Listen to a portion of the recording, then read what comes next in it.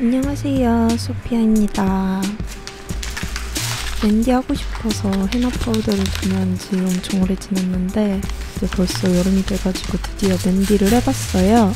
시판되는 헤나 같은 경우에는 화학 성분이 들어가 있다는 논란이 많아서 저는 유기농 헤나 파우더로 직접 반죽을 해서 사용을 해봤고요. 일단 헤나 파우더는 16테이블 스푼을 넣어줬어요. 그 다음엔 설탕을 넣어주는데요 착색을 돕는 역할을 합니다. 두 티스푼 넣어줄게요. 그리고 essential oil을 넣어줄게요. cajeput oil이랑 유칼립투스 오일을 8티스푼 넣어주는데요. essential oil도 헤나의 착색을 돕는데 아무 오일이나 가능한 건 아니고 오일에 따라서 착색을 돕는 정도가 달라요. 근데 이런 오일들은 동물들한테 굉장히 위험하기 때문에 반려묘나 반려견이 있으시다면 집에서는 하지 않으시는 게 좋아요. 이제 물을 조금씩 넣고 섞어줍니다. 한꺼번에 넣으면 망할 수도 있으니까 조금씩 농도를 봐가면서 추가해주세요. 근데 섞을 때 냄새가 엄청 좋아요. 헤나에서 그 말차가루 같은 냄새가 나는데 essential oil이랑 향이 섞이면서 엄청 향기로웠어요.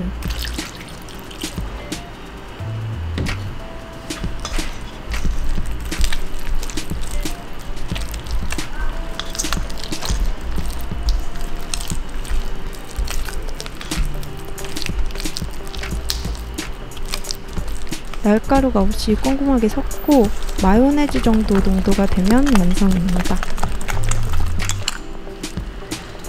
됐어. 밀봉해서 24시간 정도 숙성을 시켜주면 반죽 만들기는 끝입니다.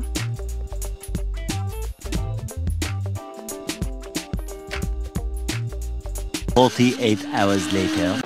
이렇게 해서 이제 헤나콘까지 만들어가지고 반죽을 다 포장을 해놨거든요.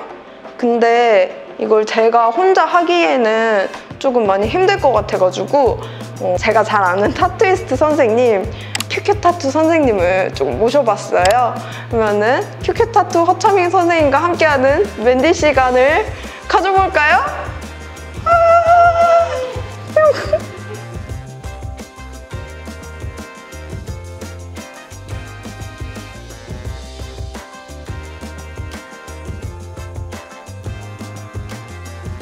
재밌다.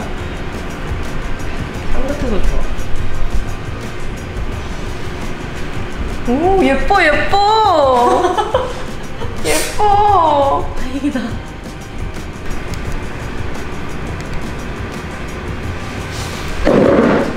예뻐 벌써 예뻐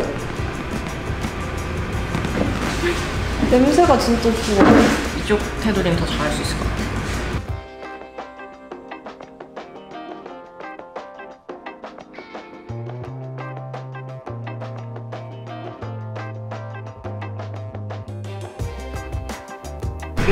너무 예쁘다.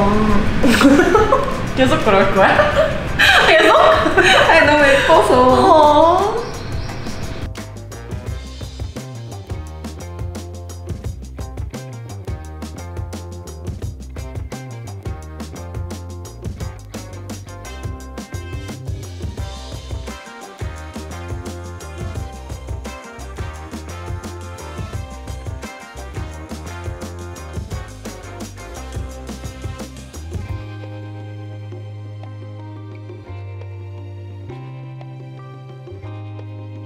대박이야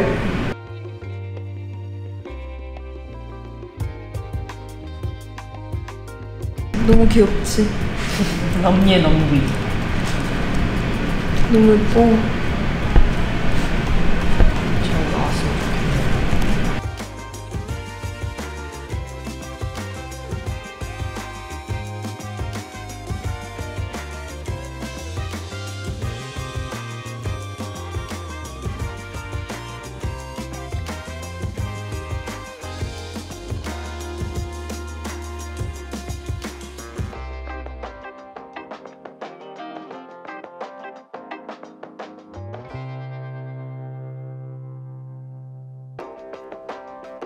반짝반짝 작은 별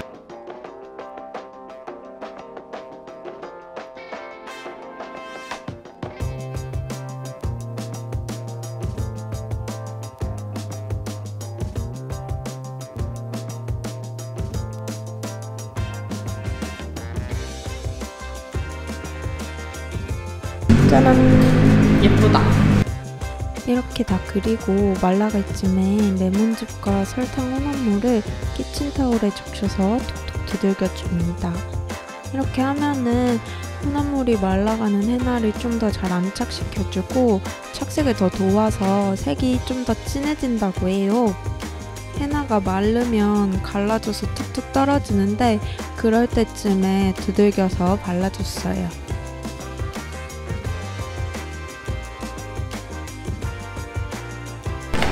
이제 말리고 떼기만 하면은 될 것 같아요. 원래는 하루 정도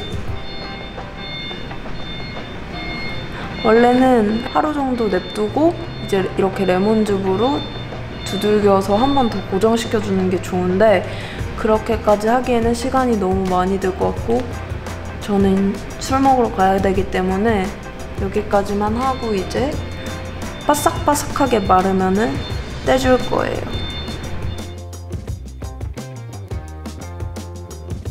Several days later. 돌아왔습니다. 헤나가 다 발색이 되었어요. 보이시죠? 이렇게 손끝에도 물들였어요.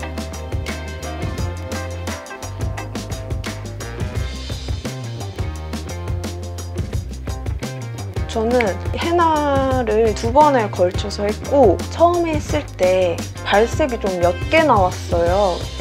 왜 그런지 생각해 보니까 제가 에어컨을 틀어놓고 좀 시원한 환경에서 했거든요. 근데 헤나는 따뜻한 환경에서 더 반응이 빠르고 그리고 강하게 나타난다고 하더라고요. 기왕이면 헤나 하실 때 따뜻한 온도에서 구워주는 게 헤나가 진하고 또렷하게 나오는 방법이고요. 진할수록 이제 지속되는 시간도 좀 더 길겠죠. 그리고 헤나 하실 때 각질을 제거하시고 헤나를 해주시는 게 지속력을 높이는 또 다른 방법입니다. 저 내일 제주도 가는데 이제 친구들이랑도 또 헤나하고 바닷가에서 놀려고요. 되게 재밌을 것 같아요. 여름에 여러분들도 헤나를 한 번쯤 해보시는 것도 좋을 것 같아요. 재미도 있고 그리고 냄새가 엄청 좋아서 뭔가 되게 힐링이 되는 그런 기분이었습니다. 그럼 오늘도 영상 봐주셔서 감사하고 우리는 다음 영상에서 또 만나요. 안녕.